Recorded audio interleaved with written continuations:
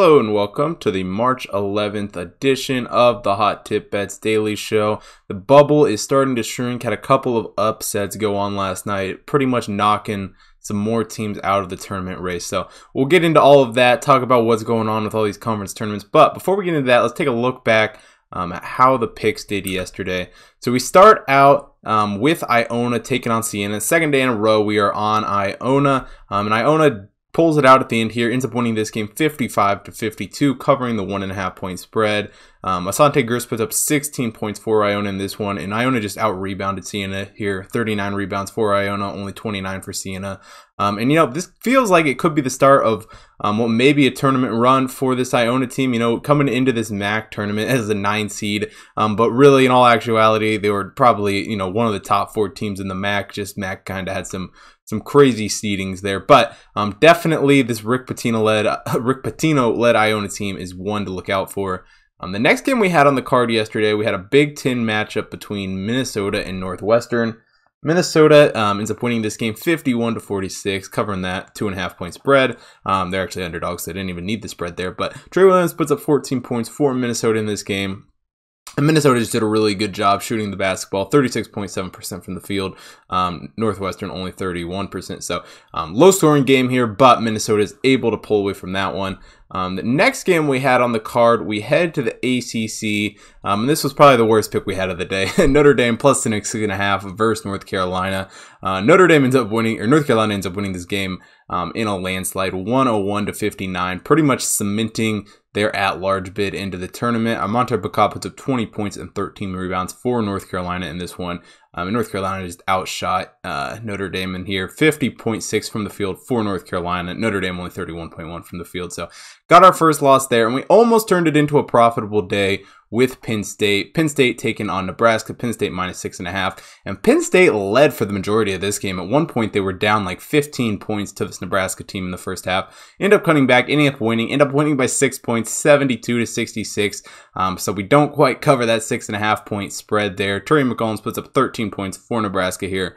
I mean, I think what really led this Penn State comeback, 43 rebounds for him, Nebraska 28 rebounds. So um, even though we didn't win that, watching the game, that was probably one that we didn't deserve to win anyway. So um, end up going two and two for Wednesday's college basketball picks.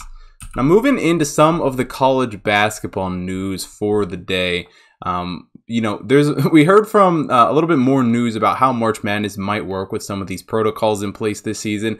Um, and it sounds like as long as a team has five players that are eligible and healthy to play, the game will go on, um, unless the team um, forfeits or something. But the teams can play as long as they have five players um, and they're willing to play. Um, that is up to it. I did see though that the coach, um, whether or not a coach would be available. Um, if, if it was only five players and no coaches, what the what the thing would that be? So, um, be interesting to see if we see a scenario like that. I doubt any team. I, mean, it'd be crazy to see a team try and play with five players, but um, who knows what we might see. And another little crazy thing we saw yesterday um, regarding some of the um, I don't know, kind of protocols, but Marquette was not able to find a practice or somewhere to practice the morning before, uh, yesterday morning before their Georgetown game. Um, end up practicing outside because because of that, um, and it um, didn't help him win against Georgetown and the Blues in that one later in the night. But just an interesting little tidbit there out of Marquette. Um, and the last little news here before we move into some picks. Um, Xavier loses to Butler, um, which is likely the end of the road for the Xavier team. They were sitting on the bubble. I think Lunardi had him in his bracket still as of yesterday, but um, with that loss to Butler in the first round here, the Big East tournament, um, it seems very unlikely that the Xavier team is going to mount anything. So um, that about wraps it up for the news. So let's get into some picks for this uh, for today. Um, we start out in the MAC. Start out with Ball State taking on Toledo. Um, now Ball State comes into this game at 10 and 12 on the season. Toledo pretty good at 20 and 7. Um, Toledo, what they've done really well this season is shot, shooting the basketball, hitting 28.6% of their shots from beyond the arc. Ball State on the other hand only hitting 41 or 34.1%. Um, Toledo's also done a good job shooting from the field too, with an effective field goal percentage of 54.6. Ball State only an effective field goal percentage of 51.5.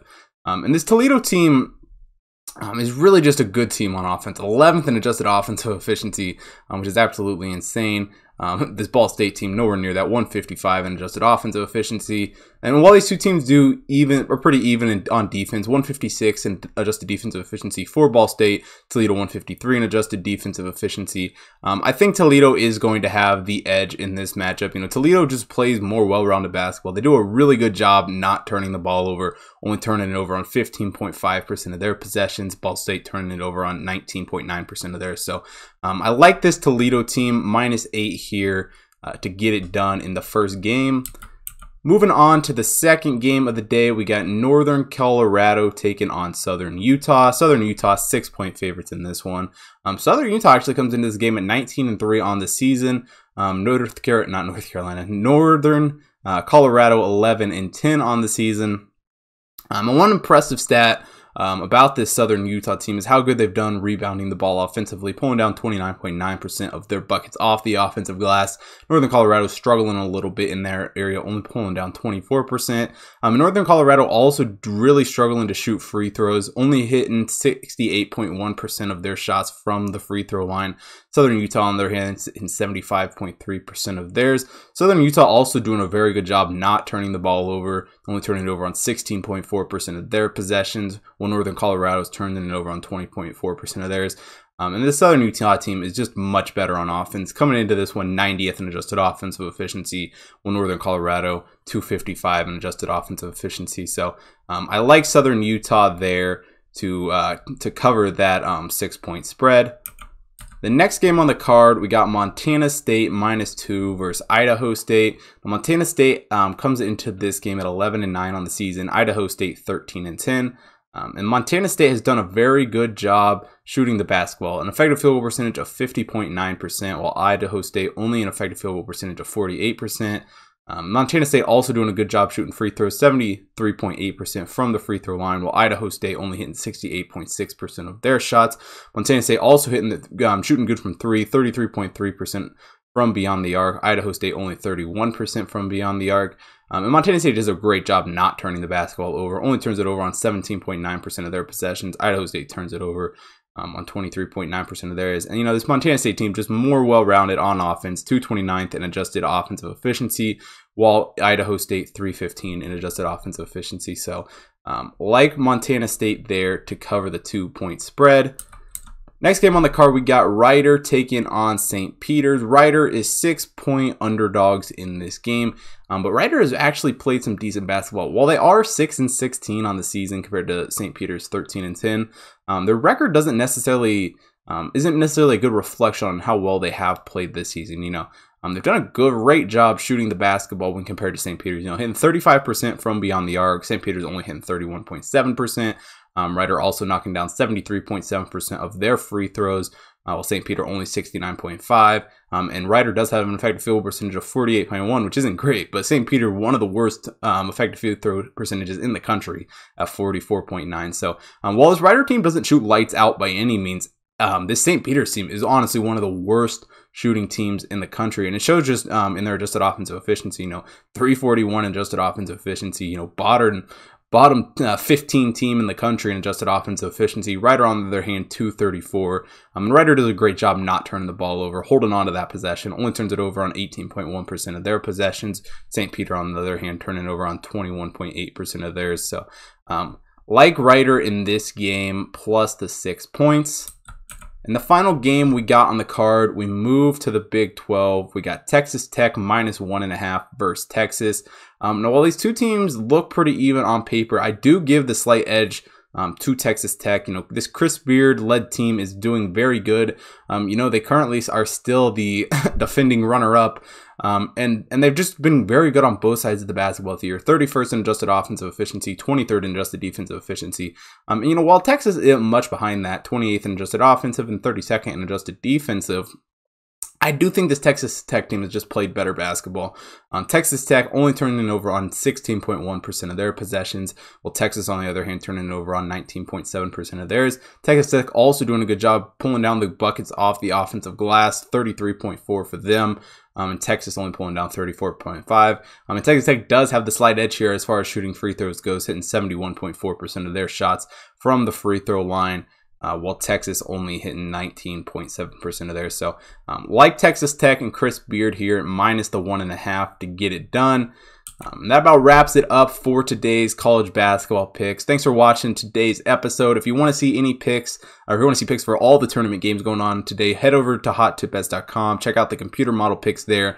I've um, got picks for all the games for today's college basketball games, as well as NBA games today, NHL games today, um, and as always, daily horse racing picks up there. Um, you can also check out the results up there for all the picks given out on the show here, as well as all of the computer model picks um, given out there. Plus, if you want to get this little bit of sneak peek day um, on what picks I might be giving out on the show. Make sure you're following me on BetStamp at Hot Tip Bets Chris. That's what I use to track and verify all of the picks given out here on the show. Also follow Hot Tip Bets Chris on Twitter and Instagram to stay updated on all that content.